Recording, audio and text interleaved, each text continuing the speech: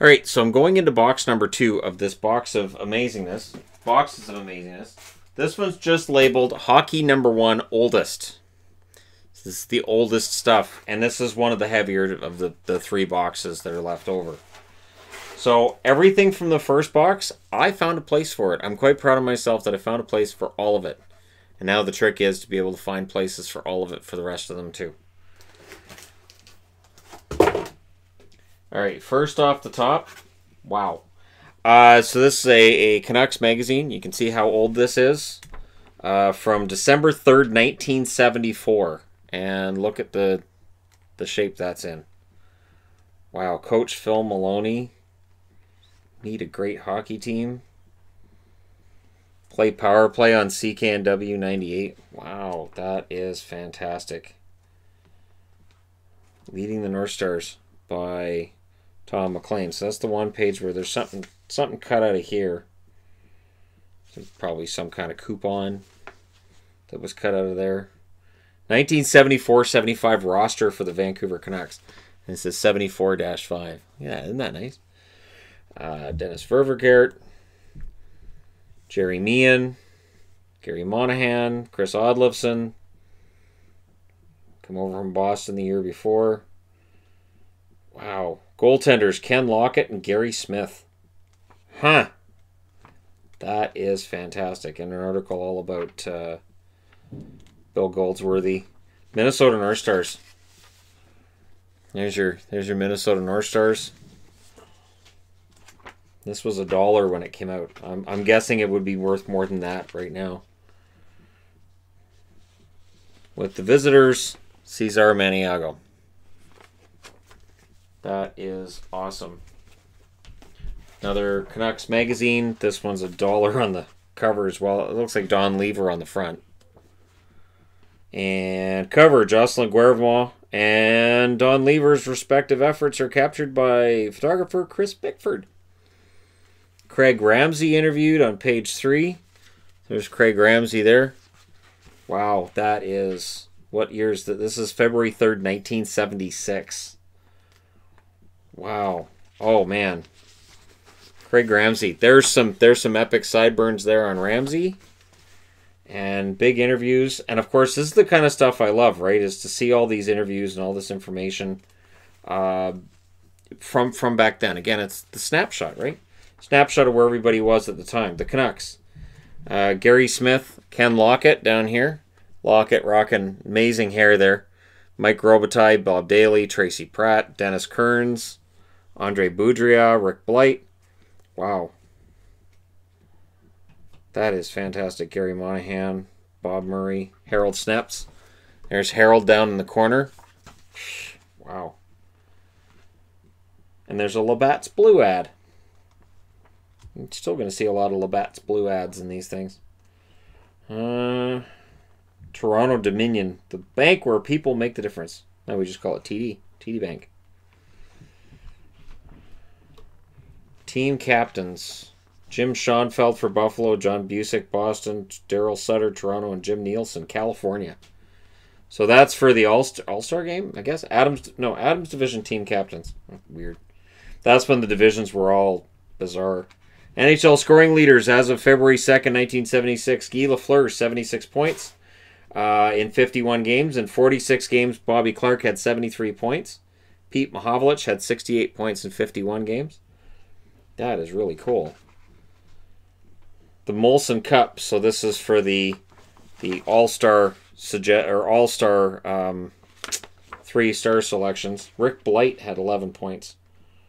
Yeah, not too shabby. Oh, here we go. And then there's a, a cartoon at the back here. So if you guys can read that, looks like you've been been in a Buffalo Stampede, and then nope, just Korab. So if if you're a Buffalo fan, or if you saw Jerry Korab play, you'd know that that's a, that's actually a pretty witty one. All right, so we've got Canucks magazine. Are these all Canucks magazines? okay. Holy crap. Yeah, these are all Canuck magazines. And they're all different. I haven't come across a duplicate yet. Wow. Um I mean, just look at this. That is fantastic. October 12th, 1974. So it's got a dog eared corner, but it's from 1974. From here, 1976. This one's 1976. This one's a dollar, and they've they've actually got a the cover's done a little bit different. So is that afterwards? 1978. So it's newer. It's only 42 years old. Holy crow. You can really see those were sweaters too. That's when jerseys were different. That's when they were sweaters. And then at some point they became jerseys. In the 80s, basically, they became jerseys. And the funny thing is, I, I don't really have sweaters. Although there was something gifted to me by the same person that gave me these that will be in a video at some point soon. Calgary Calgary Boomers present Boomers Boomin soccer camps. Okay. Calgary's newest soccer school. The Calgary Jewish Center. all right. For kids, for boys and girls age 7 to 16. They got a phone number up here. There's boomers. That's that's interesting. that's just one of those things that gets thrown here. You're like, all right, yeah, sure, all right, that checks out. Wow, February 4th, 1972. This is older than me. Holy crap. 1972. Look at the condition that's in. Man. And it just keeps going down. Like, oh, wow. What in the world is he wearing there? So, I'm, I'm guessing broken nose, but how much protection would that actually offer? Yeah, that's that's really on there. January 2nd, 1972. Wow.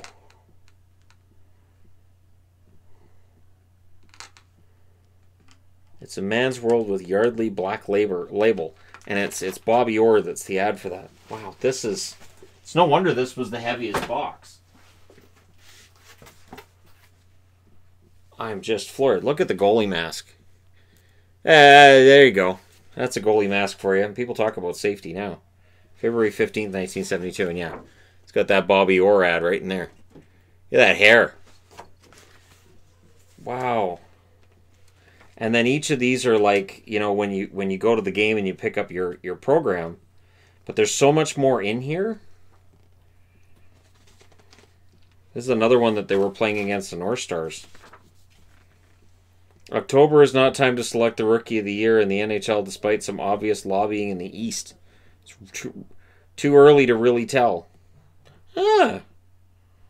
For instance, there's a young man playing for Montreal named Guy Lafleur who might just get a vote or two. He was, after all, the number one amateur number one choice in the amateur draft. Wow. The Canadiens have another chap too who qualifies. Goalie Ken Dryden, who played only six games last season before his playoff heroics. There figures to be a bit of uh, lobbying from Vancouver also on behalf of a cool young defenseman named Jocelyn Guevremont. Not thinking that at the end of the year, Guy Lafleur had a whole lot to worry about when it comes to Rookie of the Year. Not thinking that's a thing. That's that's crazy. Vancouver Canucks magazine. Wow, look at that. 19. All right, which year is this? Uh, let's see. 19. 1974. Are these all Canucks magazines? You know, it was funny. Um, the question gets asked every now and then, like, well, which which is Shannon's favorite team? Oh, it's the Canucks. Um, and and I, I know there have been times where it hasn't appeared that it's the Canucks because of videos I've done, but yeah, it's it's been Vancouver, and I've actually found a duplicate magazine. Oh, there's another one. I'm gonna have to go through these looking for for ones that are duplicates as well, because I'm sure there's more than a couple. Wow. Okay, this is all Canucks. But like you you can't find these anywhere. 1977. I mean, they're they're I mean, they're not pristine, but considering how old they are, and and I have I have got books on on eBay and Amazon that are older, uh, not older than this, but older magazines like going back like yearbooks from the 80s and whatnot that I've paid, you know, 15, 20 bucks for that have had, you know, rough covers and whatnot. I've been like, ah, oh, that's fine. Because I know it's harder to find, but this is. This is insane. This one here, this one has Snepsts on the cover. So there's there's Harold Snepsts. Oh wow. and and uh look at this. You're getting tires for for twenty nine dollars and forty seven cents each, and then your high grade ones forty six dollars uh, or or less each, and white walls are seventy ninety five. So I I'm pretty sure tires are a little more expensive than that now. And and it is fun to look back through through advertising and say, oh wow, that was how cheap back then. So yeah, this is all Vancouver. Now I'm now I'm really curious about what's in the other boxes. Like how much of that is going to be Vancouver Canucks as well. And and for for fans of the Canucks, they're probably like, oh, Shannon could do great videos. And for fans of other teams, they're probably like, Shannon's gonna do a bunch of Canucks crap, isn't he? He's gonna turn the turn the the, the, the camera around and and and and he's gonna show the Canucks corner and there's gonna be a bunch of Canucks corner videos. Possible. Not to say it doesn't happen. It's possible. Now there's there's a hockey picture for you. There's a hockey picture right there. That's perfect. What was that's from 78 then, right? 78. Wow, Tracy Pratt. Big huge article on Tracy Pratt.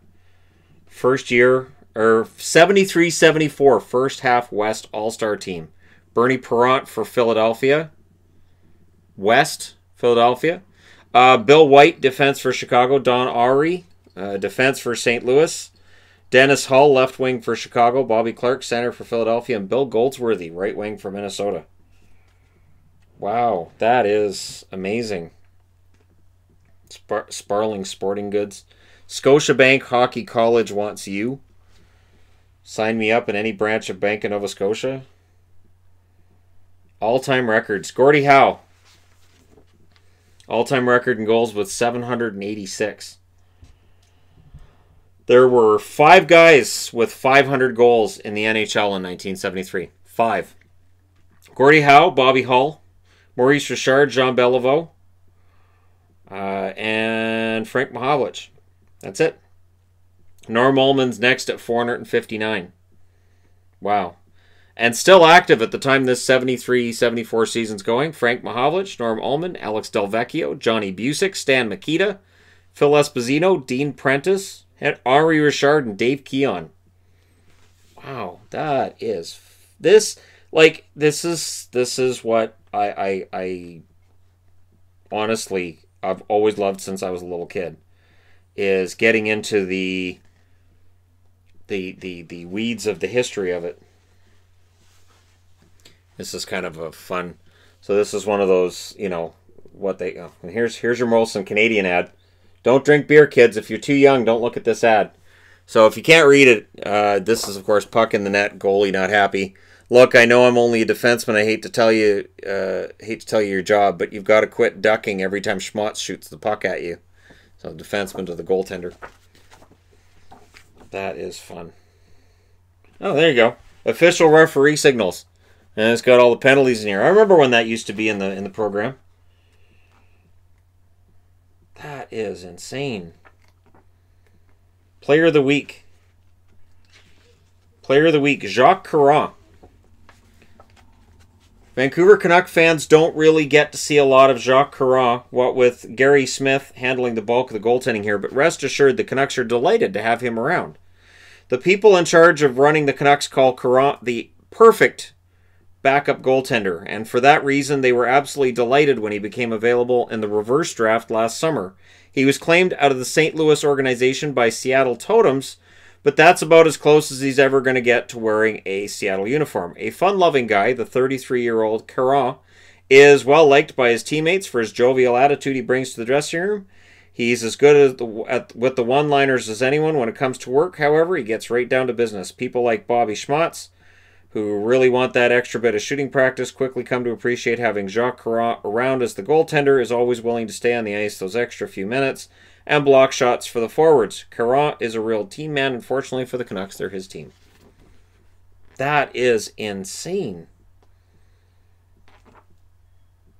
That is really, really cool. Yeah, I, huh. I, I did not realize this was a box of Canucks goodness. So, wow. And yeah, now I'm really curious about the other two boxes, which I'll do unboxings of over uh, the, the next couple of days. And I am being good. I am not opening these boxes before I do the video. But, um, I, I, I, this is one of those things where when people ask me, so what's your, what's your collection worth? How do you, how would you put a price on any of this? Like, you know, if if I was of the mind of, hey, you know, I could sell this stuff on eBay, how would I put a price? Because I can never replace it. So, wow, that is that is that is insane. And there's no stickers, there's no writing on them, there's no none of these are are, are damaged. It's just this is in really good shape. This is in really good shape, and it's it's all the way from the 70s, and it is just what a thing of beauty. I can't wait to mine through these magazines looking for information Canuck related. So, uh, again, for Canuck fans, they may very well be very happy that I got this box. For non Canuck fans, they may be less happy. If I had known what was in this box, I wouldn't have wore Senators. So that's although people are going to think, well, if Shannon knew what was in the box, that's what he'd say because he'd, yeah, no, I had no idea. Wow, that is something. I, I, it's, it's just, it's so much information. It is so much. Where do you start, and what order do you put it in, and and which which articles are because the the nice thing with the the the programs that they had back then, and, and this is you know programs from the games is they would give you articles on both teams. So it wasn't just here's your lineup card. It would give you an article on the guys from the other teams, and here's this guy like the Craig Ramsay one I showed you guys this is this is something. I can't wait to go through this. I don't know. I don't know where I'm going to put. I don't know how I'm going to categorize these. I don't know where they're going to go. Uh, but they they definitely deserve uh, somewhere that is as safe and as dry as possible. As dry as possible. So uh, they're they're gonna they're gonna stay in here with me. That's these aren't going anywhere. This is fan freaking tastic. All right. Thank you guys so much for watching, for all your support. And and again, I've I've got the best damn subscribers this planet's got. This is yeah. Um, you know, from from jerseys in my collection, I couldn't find that people have been like, "Hey, I've got it. Do you want it?" And and to this, where somebody will message me, go, oh, "I got these boxes of magazines and old hockey stuff. Do you want it?" Yeah, absolutely yes. And this this is why I say yes. This is why it's yeah. I'll, I'll take that. I'll take that off your hands, no problem. Because this is this is amazing. So uh, thank you to all of you for watching. Hit like and subscribe if you're browsing your way through. You just happened upon this video, and I'm really really anxious now to see what's in the other boxes. Really really anxious, but I will not open them until I'm filming a video. You have my word, and I will talk to you again then. No, the video's not coming up 10 minutes after this one uploaded. I'm not doing them all back to back. I'm going to pace it out. I'm going to be good. I promise. Cross my heart. I, fingers crossed. All that. You, you, you guys know. Thanks for all your support. I'll talk to you again very soon.